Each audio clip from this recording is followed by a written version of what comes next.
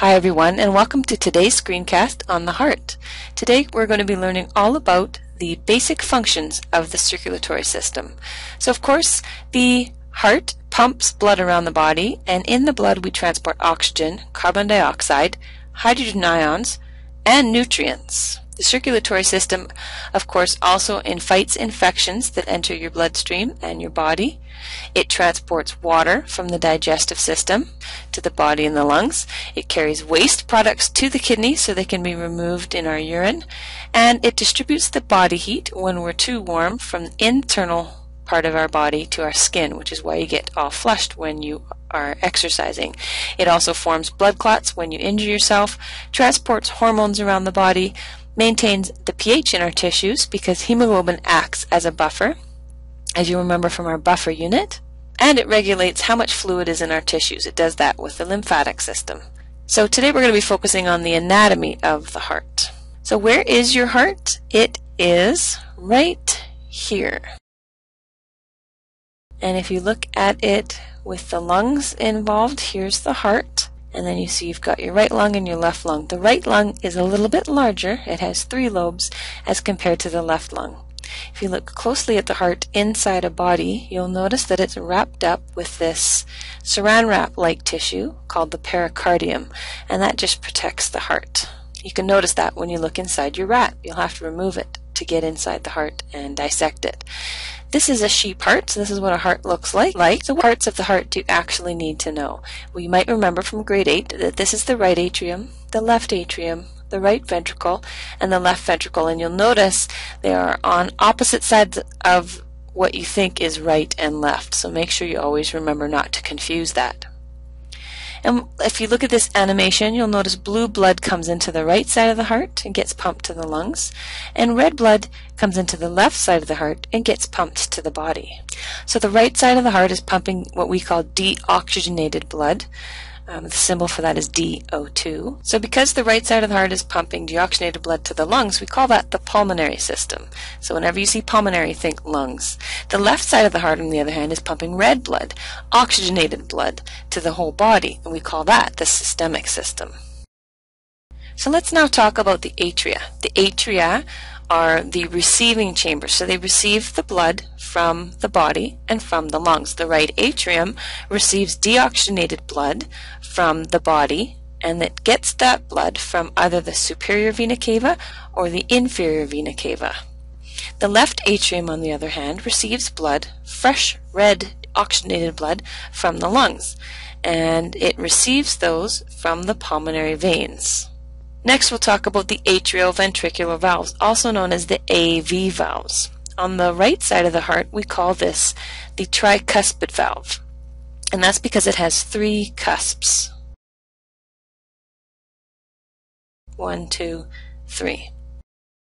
The AV valve on the left side of the body is called the bicuspid valve, and that's because it has only two cusps.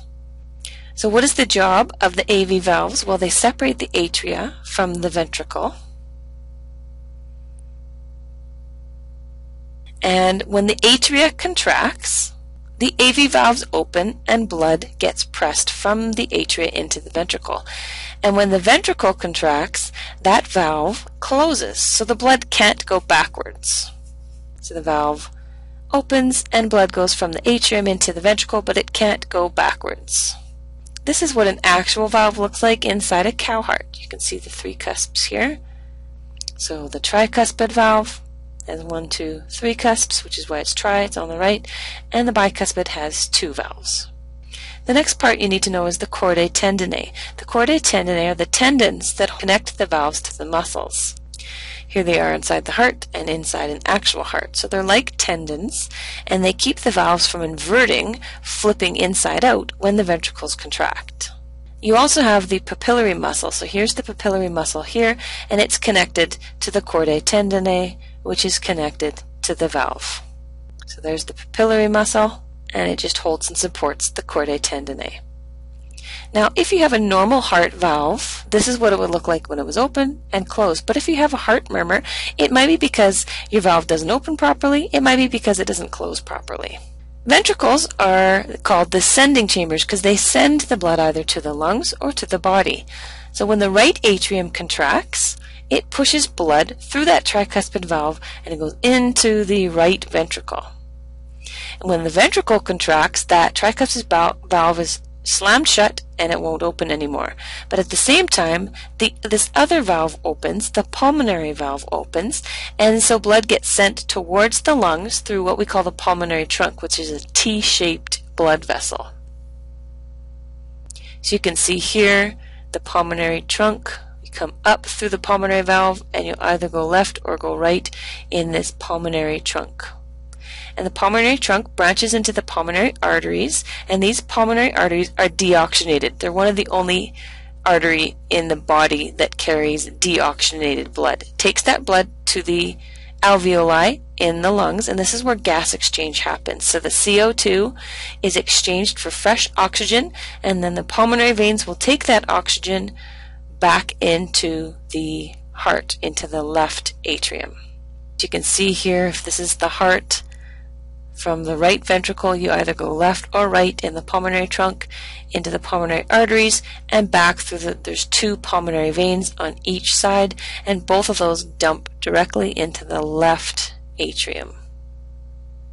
So what actually carries the oxygen? What hemoglobin? And when that protein hemoglobin carries oxygen, we call it oxyhemoglobin. The symbol for that is HB, O2, oxyhemoglobin, hemoglobin that's carrying oxygen.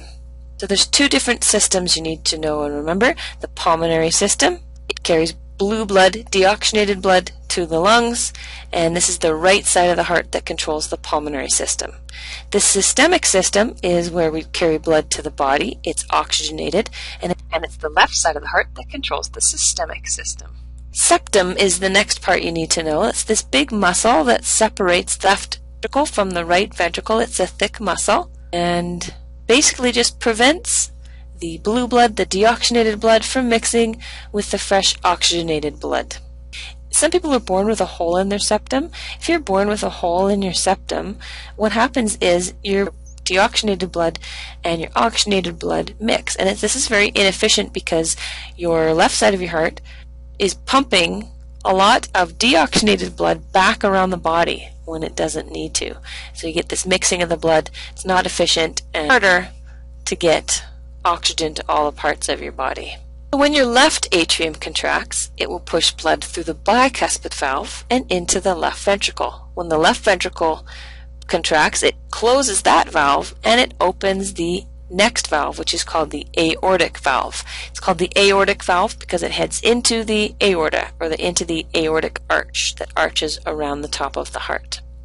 Now the left ventricle is much, much thicker than the right ventricle, and you'll notice this when you're dissecting your heart and you press the left ventricle. It's much tougher, much harder to press, and that's because it has to pump blood to the whole body, not just the lungs, which are right there, which is what the right side has to do. It pumps blood to the entire body, so it has a bigger job to do. Here we're looking at the aortic arch. This is the biggest artery in your body, and it arches over top of your heart, and it'll send blood to the upper parts of your body. It branches off. This branch takes the blood to the left arm and chest area. This branch takes the blood to the right arm and chest area. And these two vessels take blood to the brain through the carotid artery, which is on either side of your neck. If the blood loops over the arch and behind the heart and comes down underneath it, that's the dorsal aorta, and that takes blood to all the lower parts of your body. It takes blood to the head, to the arms and the lungs, and one that we didn't mention is the coronary artery also branches off. It doesn't show it in this picture, but it's the very first branch that comes off of the aorta. So you can see here the coronary arteries are the arteries that take blood directly to the heart itself because of course your heart needs oxygen as well. And so it comes right off the very beginning of the aorta and it branches all around the heart, feeds oxygen to your heart. Here's a real heart, this is what it actually looks like. And of course, the blue veins that you see pictured here are coronary veins, and they take blood back to the vena cava and go directly back into the right side of the heart. If either coronary arteries are blocked, then you'll probably end up with heart disease or even a heart attack. So what are the vena cava? The vena cava are the biggest veins in your body. There's the superior vena cava, which brings blood from the upper part of your body back to the heart. And the inferior vena cava brings blue blood, deoxygenated blood from the lower part of your body back to the right atrium of the heart. So they bring deoxygenated blood from the top and bottom of your body and dump it into the right atrium so it can be sent off to the lungs to get some oxygen. There's different names for these. The other name for superior vena cava is anterior vena cava. Make sure you know both those terms. And the inferior vena cava is also known as the posterior vena cava.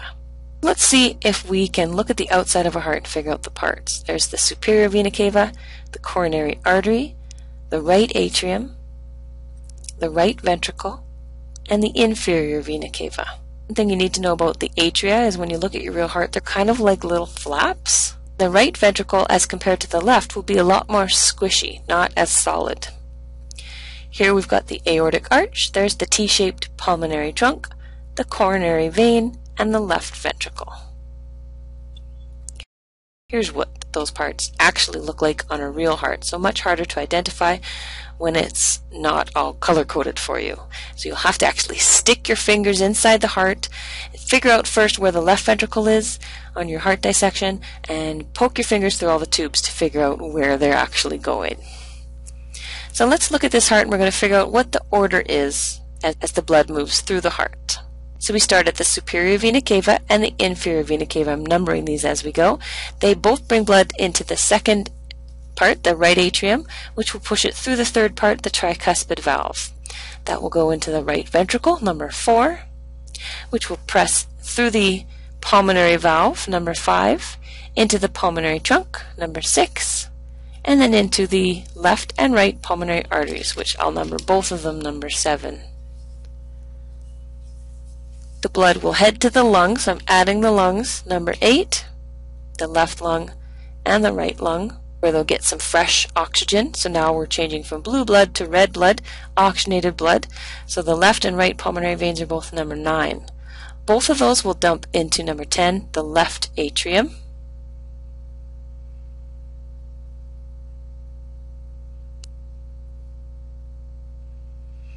And that will move through the bicuspid AV valve, number 11, and into the left ventricle, number 12 which will press blood through the aortic valve, number 13, and into the aortic arch, number 14. Now the aortic arch will either pump blood to the upper part of the body through these tubes or the lower part of the body, so we'll call that number 15 will be sending blood to the upper part of the body i.e. carotid arteries, or down behind the heart through the dorsal aorta, which will send blood to the lower part of the body.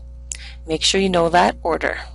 Here's an actual heart opened up, and you can see all those papillary muscles, chordae, tendineae, valves, and again, poke your fingers through all those holes and try to figure out which side of the heart is which and what all of those vessels are. Are they arteries or are they veins? So make sure you come to class next day with all of your hot questions about the anatomy of the heart.